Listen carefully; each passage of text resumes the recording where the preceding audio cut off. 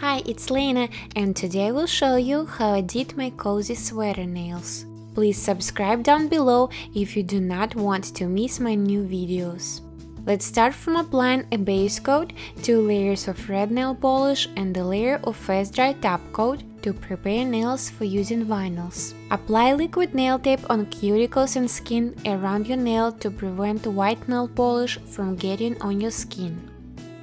Peel nail vinyls quickly so small pieces stay behind on the baking sheet. If you still have some pieces remaining, then lightly stick the strip on the back of the sheet and peel it off. All small pieces will remain on the baking paper. When top coat is completely dry, place a strip of sweater vinyls on your nail and push it lightly to the nail with your finger to make sure it sticks everywhere on the surface.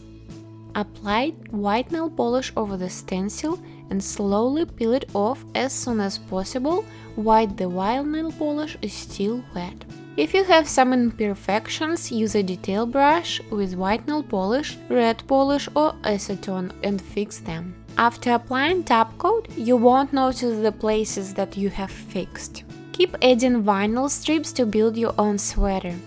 It is easier to use applicator tool or tweezers to place strips symmetrically to the nail, but you can also use your fingers. Put two strips, apply white nail polish between them and peel strips off immediately while white nail polish is still wet. This way you will get the cleanest lines. After white nail polish dries up on the nail, you can add more patterns between already created ones, like I added these dots.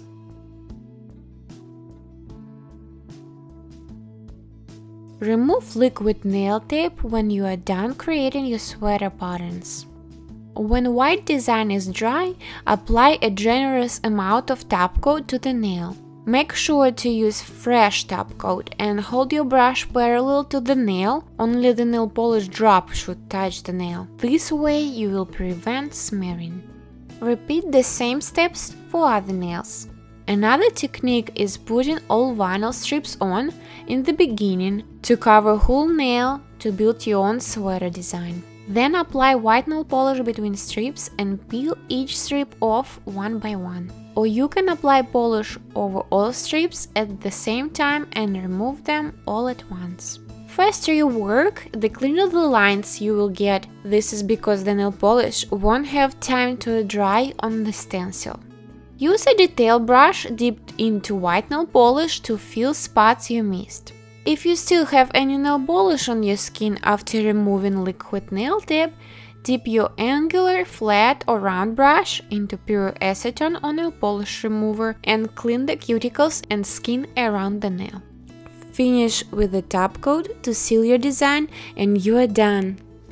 That's it for today, please like and subscribe if you enjoyed this video and let me know down below if you have any questions or video requests.